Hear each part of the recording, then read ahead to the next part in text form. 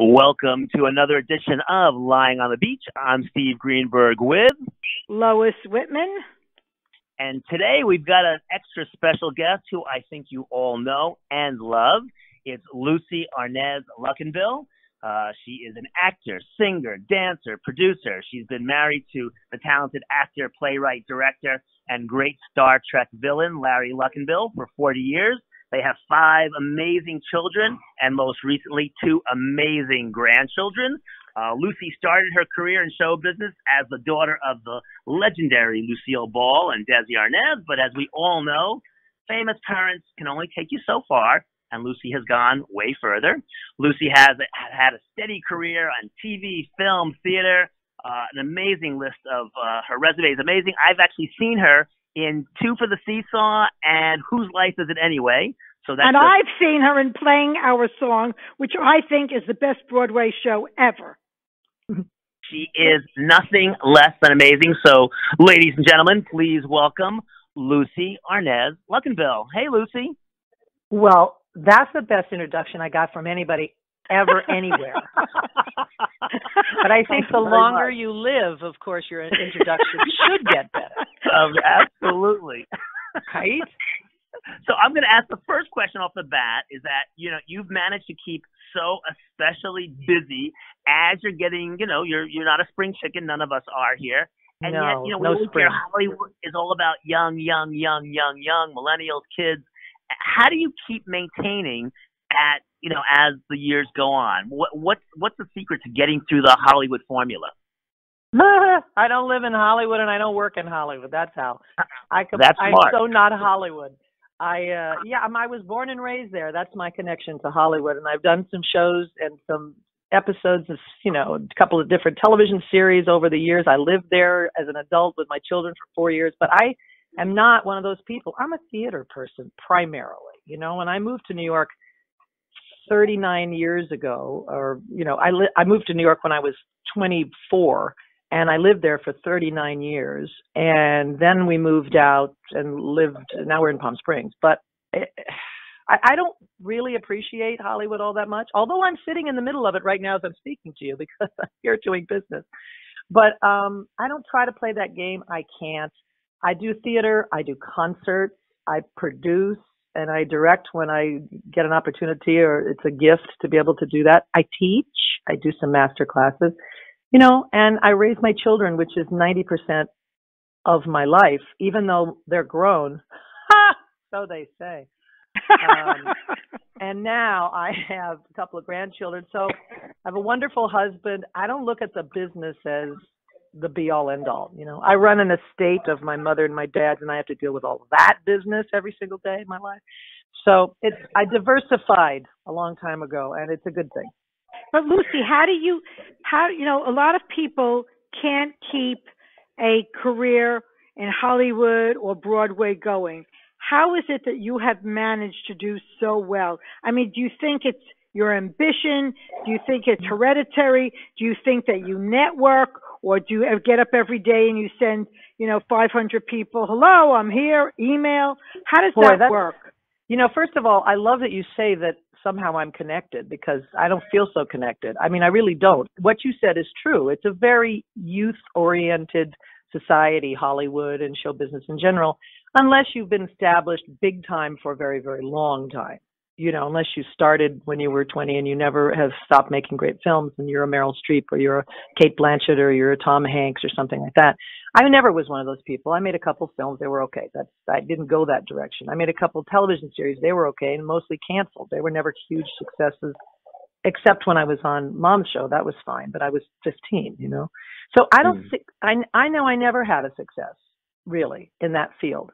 I think I'm respected by the people in the in the industry maybe because of the pedigree maybe because the work i have done has been good but i'm not a star in that sense in that hollywood sense. I went out and i i played the boards as they say you know? I do eight shows a week. I work uh with the gypsies. I do that kind of stuff and it's always been thrilling to me.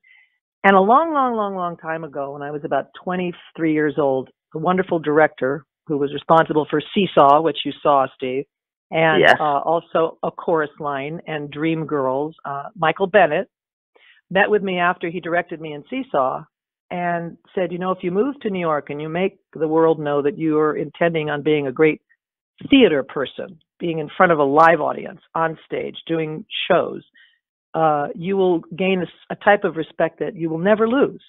And it's not true in television, and it's not true in films necessarily, unless you have a very long career. And I believed him because I, I believed everything he said in those days. He was just so brilliant, and he was my mentor. And so I moved to New York, and I started becoming part of that community, and I started getting jobs in theater. And it's true what he said. In New York, if you've done some plays over the years, you have a tenure that never goes away. You walk into Sardi's and your picture is there, and the maitre d', no matter who he is, whether it's George or Frank or the new guy, right? And they say, "Oh, Miss Arnaz, we have a table for you right here." In Hollywood, if your series is canceled or your movie didn't do well, you're a persona non grata no matter where you go. They take your name off the parking spot and you don't work again. I mean, it's a very moment to moment kind of place, Los Angeles, Hollywood, and the movie business. But theater welcomed me in a way that nobody else ever did. So I never left. I always felt that I was part of that community. And even when I moved out to LA for a couple of years to raise kids and be with my mom before she died, um, I never felt that I was a part of Los Angeles. I just felt like I was visiting. And now, strangely enough, in my dotage, I have moved back to California, but on, but not to Hollywood. I live in the desert. I live in the hot Palm Springs desert uh, with an amazing community of people that make me feel like New York. They, you know, it's a very small, close knit community. Then we protect one another and we we uh, appreciate one another's talents. And we are not all retired people. We just live there because we like the mountains and we like the way it feels. And I know you do too. People, yeah, who are some of the people in showbiz that are around you? David Zippel, uh, who was a magnificent Broadway lyricist, lives there full time. He he travels all the time, but he his main house is in Palm Springs. Uh, Robert Greenblatt, who ran NBC for years and now mm. runs HBO Time Warner, lives there most of the time. Uh, uh, Joe Mantello, the director, has a house and lives there a lot of the time.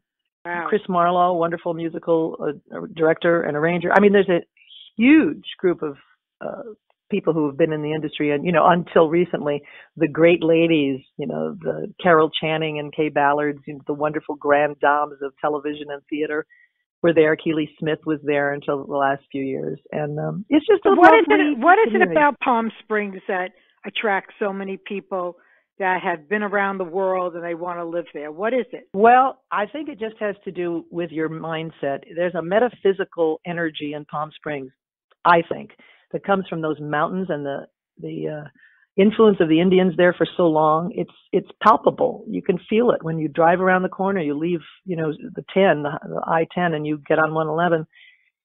You just go. I just let a big sigh of relief, and I feel that people choose to be there for a reason. Uh, you could go anywhere, but you choose to live in Palm Springs. That's a mindset, you know and uh, people are more relaxed. They're kinder in many respects. You have a lot of tourists. You have a lot of elderly people. You have a ton of gay community, and the mix is fascinating. It's a wonderful mix of people that appreciate each other's value in the world, you know. And there's a lot of uh, phenomenal philanthropy. We do so much fundraising in Palm Springs for the most amazing causes uh, the some of the richest people in the world have homes there. Steve, are you walking so, around? There's terrible interference. Terrible, uh, terrible. Uh, yeah, there's just a lot of noise in the hallway here. Hold on, let me just. I'm gonna pop outside. Right. Hold on. Okay. Yeah. I'm gonna do better. I maybe you, you, were. I thought so, maybe you so were Lucie, killing a dog. Well, yeah, I didn't know what was happening. So, Lucie, what is it like being in the entertainment business today, cabaret and theater? Is it different than years ago? Have you know? Have you know the digital world changed anything? Uh, you know, that's a good question. Yeah. Um, I, you know, I've been doing the cabaret. We'll call it concerts, cabaret, what you will. The difference is only the size of the room. Um, for 30 years now, I guess. Can you believe mm-hmm. that? 30 years, mostly with Ron Abel, believe it or not, all that right. time. Mm-hmm. And um, yeah, we've seen we've seen a big change in what people are willing to uh, pay for. For one thing, you're more on your own. Uh, which I, I think is true in the, the show business in general. Like one of the things that's changed. Here's here's a huge thing. You will understand this more than anybody. The last time we spoke, it used to be that you would get a job, you would get paid pretty well for it, and you would show up, and they would have public relations people, and they would you would do interviews like you and I are doing today, and they would promote your show, and then you know you would get paid, and you would leave. And now you sort of have to talk to the promoters yourself. You might have, I have an agent that books for me. I have several actually. I'm not exclusive. And, but a lot of the things that come up, they say, you can work this room and they'll pay you this, which is fine. But they don't do any marketing or promotion at all. You have to do that all on your social media. And Mm. I just think that is such a crock. Like, really? So I have to come there, do the show and everything, and I have to also promote the show on my social media. And I said, look, I'm not one of those people with 75,000 followers. I'm not an influencer who weighs 11 pounds and tries on small bikinis. You know, that's not who I am because that's who they all are.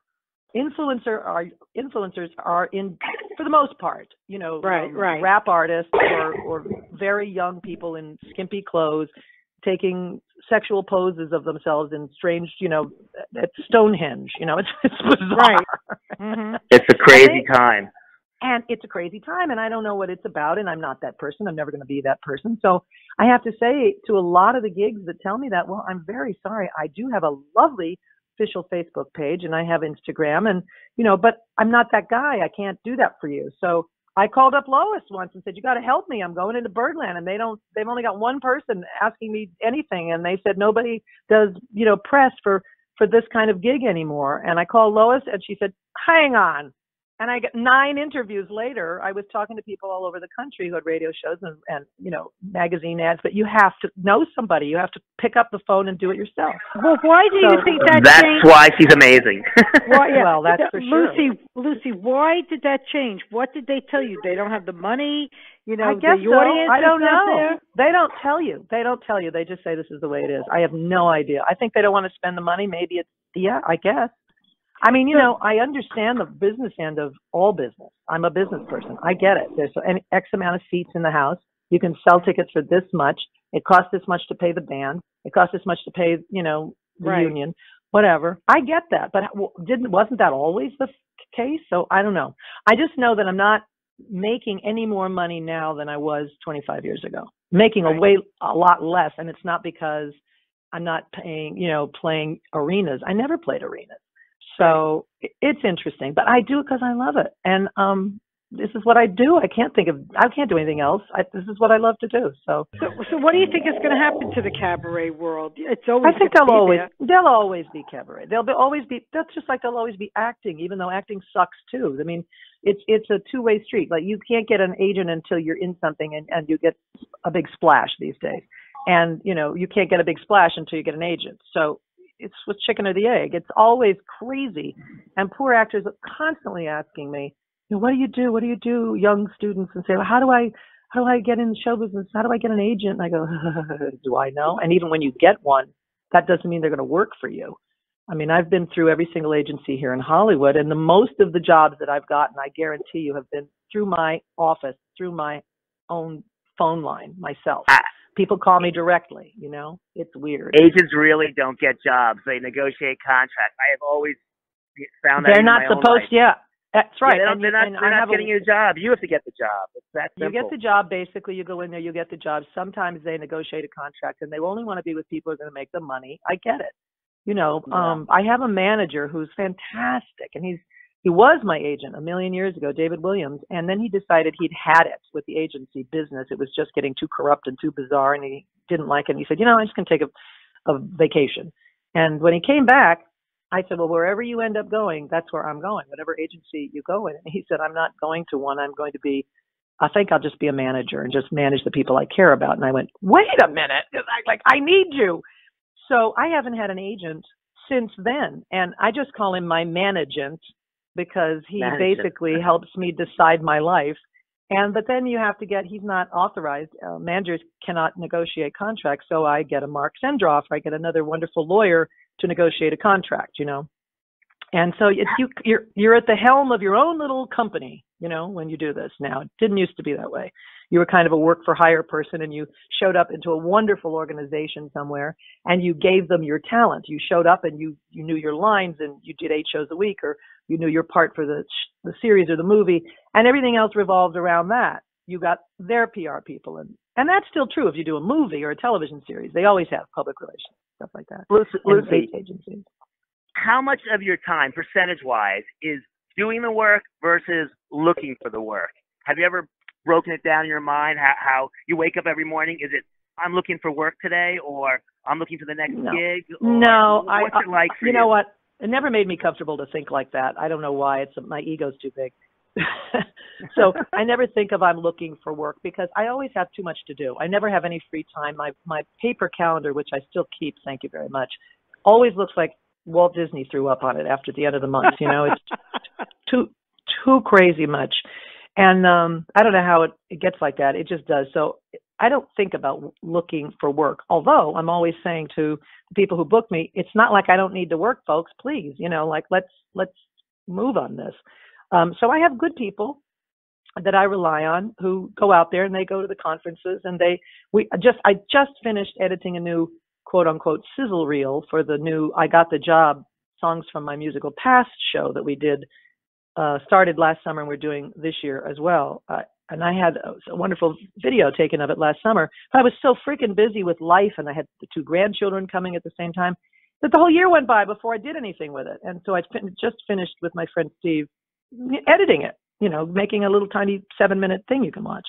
And so that's that. You know, I have to do stuff like that. And we're constantly making new flyers and new descriptions of shows. I'm putting new shows together all the time. Uh, Ron and I are doing a whole brand new show uh, with a different theme about life and about, it's really about a a show with songs that only a woman of a certain age could sing.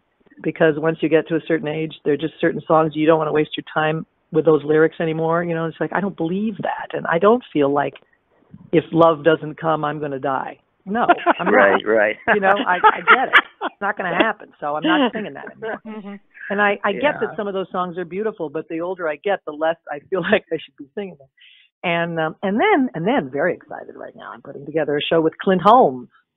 He and I want Oh, to do a show really? together. Yeah, so we're getting together this week and uh, in another couple of weeks, and we're putting material together that we can do together, a duet show, and that's exciting. So my job is to keep coming up with good shows and then put them out there to the agents and say these are the shows I have, and then they take them to the powers that be. But of course, because I'm not exclusive, if I see a place I want to play, I'm not beneath calling Jimmy Caruso or the people at Feinstein's or whatever and saying, I've got a good new show. Do you want it? And I learned a lot from my friend Ann Hampton Callaway, who is a, her, the best promoter of herself, I think, in our business. And she and I are buds. And I thought, I always thought, you really do this well. You're on it. She said, yeah, 24 7. You know, it's a lot. She doesn't have five children and two grandchildren. So. Right. Right. Right, That's a big difference. A big difference. Mhm. Lucie, what roles are you most proud of, and what do you want to be remembered for? Other than mother and grandma, you mean? Yeah, Yes. like roles, roles. Yes. Yes. Wow, that's a good question because there's a lot of them and on different uh, media. You know, I mean, I love the Jazz Singer. I I really do. It was my the first big film that felt like a big mega mega buster film kind of thing to me. Mhm. I loved working with Neil Diamond, and they treated us like royalty. We went to the Cannes Film Festival. It's a great character, which basically my husband wrote. Um, Right. and I'm very proud of that. He Mhm. they were going through a lot of different scripts, and he nobody was in charge really at that time, and and so they sent me my script. They'd already replaced the leading lady, and I was coming into it cold, and we thought the script was terrible. So Larry sat down and rewrote all my scenes, and I showed up Wow. and I just handed them like one page at a time, and I said, "There's a couple of changes on here. Is, that, is it okay if I?" And the new director, Richard uh, Fleischer, said, "Oh, this is great. Who wrote this?" And I said, "Oh, we just, I just kind of tweaked it a little." He goes, "Yeah, yeah, yeah, we're gonna do this. It's fine. Here." That's so great. so he didn't get screen credit, but he wrote that. And I- I think of things like Pippin because of the trapeze thing that I took on Ah. and accomplished. That's an amazing thing to have done at 65, four years old at the time, you know, and my one and only because it was about seven, eight months on the road tap dancing my butt off, which I'm not, you know, a tap dancer from birth. I had to really, really study hard to become good enough to dance with Tommy Tune. And we we did the national company of My One and Only, and I'm so proud of what we did in that show. And um, you know, there's some series that I did that I thought were great and fun. The Son, Sons and Daughters show that I did for a season never Right, really right. got anywhere, but I Yeah. thought it was well written and very smartly directed. Um, Seesaw that you mentioned is probably one of the best shows ever. Uh, really a great script and wonderful music. It's a little dated now, so it doesn't get revived very often because it's all about a woman saying that, you know, is he good for me? Right. Am I good for him? He's good for Right. me, but am I am I good for him? And I don't think women think like that anymore. And uh, and of course they're playing our song because when do you get to have your Broadway debut and work with Neil Simon and Marvin Hamlisch, you know, and, Mar- and Carol Bayer Sager on Broadway? It was just it was in- incredible. Robert Klein, and um, so it's hard. They're like children, you know. You how do you pick your your favorite? How do you pick Right. your favorite? Right. I have to go back to the Pippin one. Were you freaked Yeah. out on that trapeze swinging over an audience of a thousand people? I mean, is that just uh, absolutely? Uh, I, well, first of all, I didn't have at the to- same time? I did. Did you see it, Steve? I, I have, yes. But you didn't see I- me do what I did. You saw Uh, no, Pippin. I I saw I saw someone else doing your part, but Yeah, yeah, yeah, I yeah. have se- I've seen well, the part. it's yeah. never just to clarify for people who didn't see that show. It's not a swinging trapeze, right? it's, It's, it's the a, kind no, no, that goes up high. It's called Right. dance trapeze, dance trapeze. So it goes up high off the stage, but no wires, no nets or anything. And you you do uh, an, an act with another acrobat who holds you, and you walk around him, and he slips slips upside down, and you hang upside down, and it's quite astounding. And was I freaked? I wasn't. And let me tell you why. I thought Why? I might be because well, first of all, if I was, I wouldn't have done it. You can't Yeah. be freaked and do that. and um, sing No, singing was easy. That was that at was the same time. no, I mean, Everybody at the said same time to be freaked out and singing at the same Oh, time. yeah, seems- yeah, yeah. no, like how do you do the that? thing. You, I just I thought if they can teach me, and they said they could, and they start slow. I mean, the whole thing. We had to learn the whole entire show and all the choreography and the music and everything in three weeks. Not I didn't get any extra time because it was acrobats. As a matter of fact, I only had 10, 10 minutes a day with them, and I Oh, could my never take it home. And I couldn't take it home and and re- rehearse, right? So I felt like I'm never going to learn this. I'm never going to be ready. But Gypsy Snider, who ran all the acrobats, and uh, she just said, she said, just follow the program, Lucie. Just trust the system, and you will be ready. We have trained lots of ladies who thought they couldn't do this, Wow. Oh, and my so God. that's what I did. And you know, it was great metaphor for for life. Just put one foot in front of the other. Do as you you know, just don't look too far ahead. Just keep doing what you're supposed to be doing right this minute. And if today you're supposed to be strengthening your core, then that's what you do today. And tomorrow you're going to learn how to do this and da-da. And once you get into the routine, it was always about now you sit. Now your left hand goes on the rope. Now your right hand goes on the other rope. Now you stand, you put your leg here. It, each Ah. thing had a point that I had to accomplish. And if I did it right, we did a good job. And if I started thinking, oh, yeah, this is high, you know, then I would have screwed it up terribly. I had to look graceful and sexy. You know, that was my job. And Are you an not- I have to I have to say that what you just said is such a life lesson for mm-hmm. anybody that Everybody. wants to be in mm-hmm. entertainment. You just overwhelm me by you know ju- just that whole. It could be a metaphor for life Right. or for a career or anything. I agree. and a lot I of people don't more. have that. Yeah. Yeah. Are, are you a natural athlete though? I I, I was just No. I'm not. Oh. And I tell you, this is the honest to God truth. I don't know why. I think it was because we were getting ready to move from Connecticut to Palm Springs. I wasn't going into the city and, you know, with my trainer every day. I wasn't going to the gym. All I was doing was packing boxes and moving stuff and arranging for furniture. I mean, I was sitting at a desk or packing every single day for months. And Yeah. when they gave me this offer to do this show, I I said I am probably in the worst physical shape I've been in a long time. I mean, I was just my core was terrible. I was soft everywhere. And I said I have no muscles and they brought me in, let me try the trapeze, did a few things on the floor with me to see how flexible I was. Ah. And they said we can te- we can teach you. It's fine. We we have 3 weeks. You'll be fine. I thought, Three "Okay." weeks. Oh my god. And I tell you, I tell you, when it was over, when the show was over, I it was six months on the road with that show. yeah. I was the best physical shape I've ever been in in my life. I was I was 63 years old and I had a body like when I was 27. It was hmm. unbelievable. I want to be I want to be in the circus now. You want to be in the circus? That's great. I want to go join the acrobats. I want to go be in Las Vegas in Cirque du Soleil. That's Oh because you always think you're going to go home and somehow you're going to keep that up. You're going to do, oh, yo, sure you are. You're going to do your exercises every day. And you get, now it doesn't. It all goes away. But I was very proud of doing that. That's wonderful. Lucie, before we get off, I do want to ask you about, you know, I see you on Facebook every day, you know, with your political activism. You know, what makes you so involved today? Uh, and, you know, you express and you get, try to get people together and you try to teach people what's going on in the world. And you have a tremendous following of people.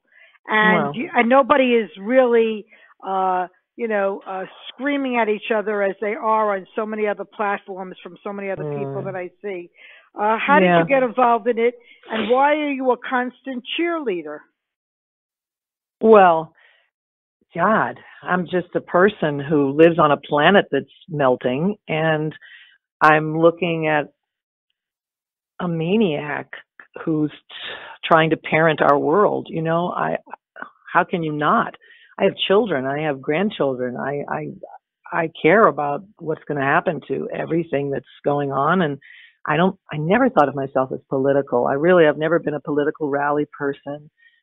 I don't even want to do that, you know. I really don't. I want to sing and dance and entertain people. I don't want to have to think about this. That's the problem, though. See, I think a lot of us get so comfy in our lovely, pretty world we live in here, and for a lot of years, our main concern was what happened to Michael Jackson or whether Chris, you know, you know, Caitlyn Jenner, Bruce Jenner, every day, every, you know, really, and we've stopped, and we stopped listening. We stopped paying attention to the corruption and the crazy that was going on.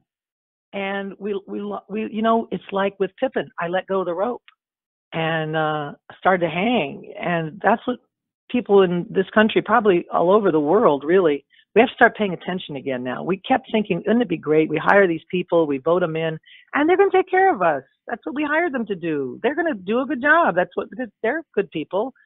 No, people are greedy. People are corrupt. People want for themselves, and it's our job to make sure that that doesn't happen. So we have to stay alert.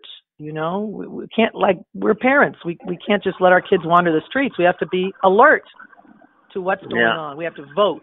We have to read. We have to listen, and we can't believe everything we read on Facebook. You know, if it's if it's Lucie Arnaz's site and you're sure it's Lucie Arnaz's site, fine. But if it's some other website that looks official but it's not, it's now we know it's from Russia. It's a robot. It's we don't know.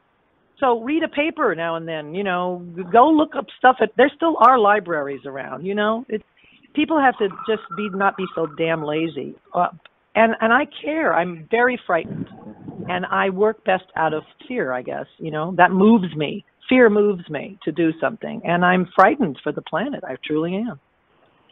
and we all have to step up to responsibility. Elections have consequences, and we've got to get involved. You can't not be involved in today's world anymore because it's just That's so right. dangerous. It's so dangerous. That's right. That's right. And I try to do it without being as bad as the people that I'm criticizing. You know, I don't want to be a name Right. caller and vicious. That's what I try not to do. I try to use the unity training that I have, you know, through unity was a, a wonderful influence in my life to make me think differently. It's a, it's new thought is what it is. And when I when I think that way, I try to approach problems from that perspective, like we're all the same. I have to see the divine spark in everyone. But that doesn't mean that I have to agree with the crazy ass choices they make, you know? Absolutely. And uh and I won't carry on a vicious conversation with somebody on my site. If that happens, I will just ask them to please go find somebody else to abuse, you know. But I just want to educate and then let people do what they'll do. That's all. If I see something that makes sense to me, I share it. That's basically all I do. And it's that's, very little, it- really, Lois. But I feel it's uh, imp- you know and if imperative. someone starts and if someone starts name calling, you don't call any don't call, don't call a name back at them. Instead, send them to Lois, and Lois will call them names. So she- she'll That step is up true. and take care of That us. is so, true. Yeah.